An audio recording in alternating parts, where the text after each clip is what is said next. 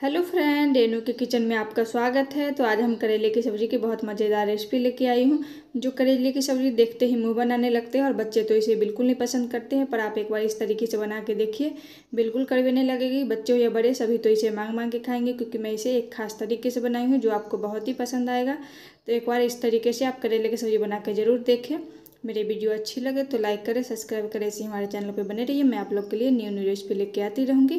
करेले की सब्ज़ी बनाना शुरू करते हैं। उसके लिए हम 500 ग्राम करेले ले लिए हैं तो इसे अच्छे से वॉश करके ले लिए हैं और इसे अच्छे से कपड़े से पोछ के ले लिए हैं। ये बिल्कुल क्लीन है।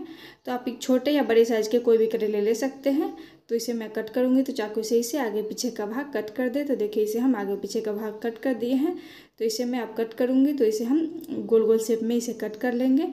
तो आप पीसे थोड़ा छोटा या बड़ा आप अपने पसंद से ले सकते हैं। तो देखिए, मैं इस शेप में इसे कट कर रही हूँ। तो इसी तरीके से सारे करेले को कट करके रेडी कर लें। तो देखिए, हम सारे करेले को कट कर लिए हैं, देख सकते हैं। तो इसी तरीके से सारे करेले कट कर लिए हैं। तो इसमें मैं आप कुछ मसाले मिलाऊँगी। अब इसमें हम आधी छोटी चम्मच हल्दी का पाउडर डाल देंगे। तो हल्दी पाउडर दे दिए हैं, साथ में हम एक छोटी चम्मच नमक डालेंगे तो करेले में थोड़ा ज़्यादा ही नमक देना चाहिए, क्योंकि इससे कड़वापन दूर होता है। अब इस करेले में हम एक सीक्रेट चीज़ डालूँगे, वो है नींबू। तो आधे नींबू को काट के ले लिए हैं। अब इसका हम रस निचोड़ के डाल देंगे। नींबू का रस देने से करेले का कड़वापन पूरा दूर हो जाता है। तो आप एक बार इस तरीके से करेले की सब्ज़ी बना के ज़रूर देखिएगा। तो इसका हम नींबू का रस निचोड़ दिए अच्छे से। तो अब इसे हम मिक्स करेंगे। तो इसे हाथों से अच्छे से मिक्स कर दें ताकि हल्दी और नमक और नींबू पूरे करेला में अच्छे से कोट हो सके। तो इसे अच्छे से मिक्स करें ताकि अच्छे से ये कोट हो जाए। तो इस तरीके से सब्ज़ी बनाइएगा तो आपकी सब्ज़ी बिल्कुल भी कड़वी नहीं होगी। आप एक बार ज़रूर ट्राई कीजिएगा। तो करेले को हम अच्छे से मिक्स कर लिए हैं, देख सकते हैं। तो इसे अब हम ढक्कन से ढक के पंद्रह मिनट तक छोड़ दें। ताकि करेले में जो भी कड़वापन है, वो नींबू और नमक देने से सारा कड़वापन इसका दूर हो जाए। तो पंद्रह मिनट के बाद हम इसे चेक कर लेंगे। तो पंद्रह मिनट पूरे हो गए हैं तो इसका हम ढक्कन हटा देते हैं। तो ढक्कन हटा के सब एक बार हम करेले को अच्छे से मिक्स कर लेंगे। तो देखिए, इसे हम चम्मच से मिक्स कर लिए हैं। तो करेले में से देखिए कितना मॉइस्चर निकल गया, देख सकते हैं। तो इसे अब हम हाथों से इसे अच्छे से मुट्ठी में इसे सारा पानी निचोड़ के अलग कर लेंगे। तो इसे अच्छे से निचोड़े ताकि इसमें बिल्कुल भी पानी नहीं होना चाहिए। तो इसे अच्छे से निचोड़ लिए हैं। देख सकते हैं, इसे एक प्लेट में रख दिए हैं। तो इसी तरीके से हम सारे करेले को पानी से निचोड़ के अलग कर लेंगे। तो इसमें बिल्कुल भी पानी नहीं होना चाहिए। देखिए, सारे करेले को हम पानी से निचोड़ लिए हैं। तो इसका पानी है, इसे हम साइड कर देंगे। अब सब्ज़ी बनाना शुरू करते हैं। तो गैस ऑन करके कढ़ाई गर्म कर ली है। इसमें हम तीन बड़े चम्मच ऑयल डालेंगे। तो करेले की सब्ज़ी बनाने में सरसों का ऑयल ही डालें। सरसों के ऑयल से करेले की सब्ज़ी है, बहुत ही स्वादिष्ट बनती है। तो इसे धुआँ आने तक इसे गर्म कर लेंगे ताकि इसका करवाहट दूर हो जाए। तो देखिए, इसे हमें धुआँ आने तक इसे गर्म कर लिए हैं। तो इसमें अच्छा धुआँ आ रहा है। अब मैं इसमें करेले को डाल दूँगी। तो जो करेला को हम पानी से निचोड़ कर रखे थे, वो डाल देंगे और इसे अच्छे से मिक्स कर दें ताकि तेल में ये अच्छे से मिल सके। तो इसे अच्छे से मिक्स करके हम इसे छः से सात मिनट तक हम इसे मीडियम फ्लेम पर पका लेंगे, बीच बीच में इसे मिक्स करें। तो करेला को अच्छे से हम पकाएँगे। तो करेला को अच्छे से गोल्डन ब्राउन होने तक इसे फ्राई कर लेंगे। तो करेला जितना अच्छा से फ्राई रहेगा, सब्ज़ी हमारी उतनी ही टेस्टी बनेगी और बिल्कुल भी कड़वी नहीं लगेगी खाने में। तो करेला को हम पाँच मिनट तक इसे भून लिए हैं तो देख सकते हैं ये सॉफ्ट हो गया है। तो देखिए करेला को हम टोटल आठ मिनट तक भून लिए थे तो देखिए करेला हमारा बिल्कुल अच्छे से भून गया है, देख सकते हैं। तो करेला को जितने अच्छे से भुनिएगा, सब्ज़ी हमारी उतनी ही टेस्टी बनेगी।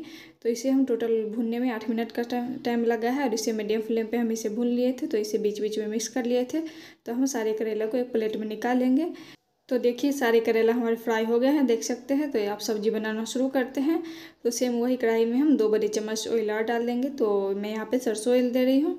तो ऑयल को अच्छा से गर्म होने दो ऑयल गर्म होने पे इसमें मैं आधी छोटी चम्मच जीरा डालूँगी और साथ में मैं आधी छोटी चम्मच सौंफ डालूँगी। सौंफ देने से करेले की सब्ज़ी बहुत ही टेस्टी बनती है तो सौंफ आप ज़रूर डालें। और साथ में हम आधी छोटी चम्मच काली वाली सरसों डालें, आप पीली वाली भी ले सकते हैं।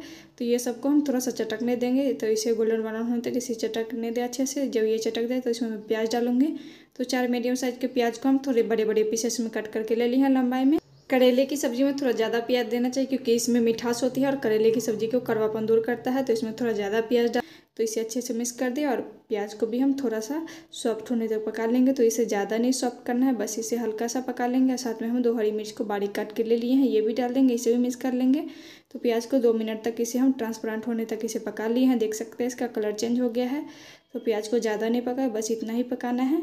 अभी इसमें अदरक और लहसुन को हम दरदरा कूट के ले लिए हैं, वो डाल देंगे। तो इसे ताज़ा कूट के देने से इसमें बहुत अच्छा टेस्ट आता है।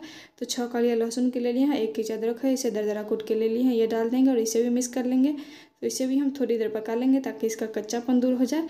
तो लो फ्लेम पर हम इसे पका लेंगे। तो देखिए हम अदरक और लहसुन को भी पका लिए हैं, देख सकते हैं। तो ये भी अच्छे से भून गए हैं। तो इसमें मैं जो करेले फ्राई करके रखे थे तो इसमें मैं करेले डाल दूँगी। तो करेला इसमें डाल दे और इसे अच्छे से मिक्स कर ले।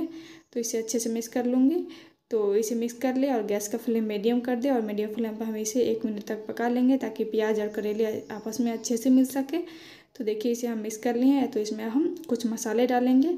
तो मसाले में आधी छोटी चम्मच हल्दी पाउडर दे रही हूँ और साथ में एक छोटी चम्मच धनिया पाउडर डालेंगे। तो धनिया पाउडर दे दिए साथ में हम आधी छोटी चम्मच काश्मीरी मिर्च दे रहे हैं, आप मिर्च पाउडर भी ले सकते हैं।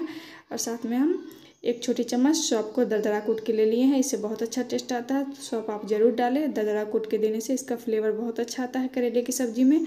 और साथ में हम एक छोटी चम्मच आमचूर का पाउडर ले रहे हैं अगर आपके पास आमचूर का पाउडर नहीं है तो आम के जो मसाले होते हैं, वो भी ले सकते हैं तो उससे भी बहुत अच्छा टेस्ट आता है। और नमक डाल दें स्वाद अनुसार।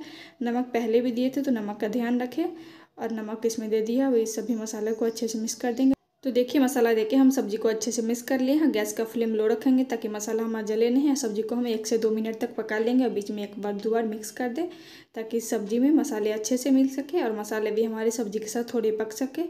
तो इसमें मैं अब आधी छोटी चम्मच गरम मसाला डाल रही हूँ। तो गरम मसाला दे दे और इसे मिक्स कर दे और साथ में हम थोड़ी सी धनिया की पत्ती डाल देंगे। धनिया की पत्ती बारीक काट के ले ली है, ये भी डाल देंगे।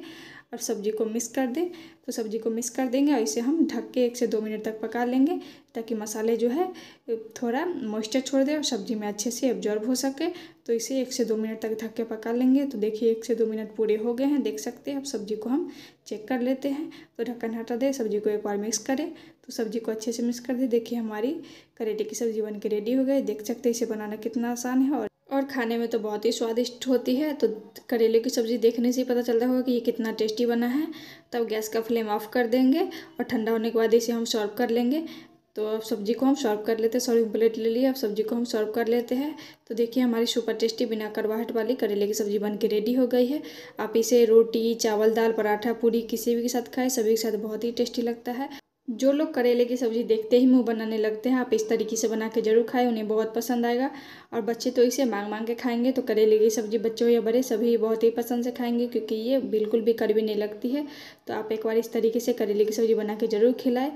एक बार ज़रूर ट्राई करें, मेरी वीडियो अच्छी लगे तो लाइक करें, सब्सक्राइब करें, ऐसे हमारे चैनल पे बने रहिए। मैं आप लोग के लिए न्यू न्यू रेसिपी लेके आती रहूँगी। Thank you for watching friend मेरी वीडियो कैसी लगे, कमेंट करके ज़रूर